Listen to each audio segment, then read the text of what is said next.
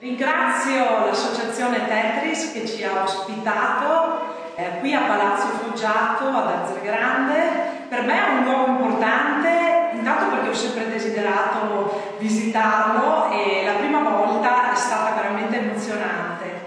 E poi eh, diventa una location importante per me anche perché proprio qui di fianco c'era la bottega del Cavaliero al quale abbiamo dedicato un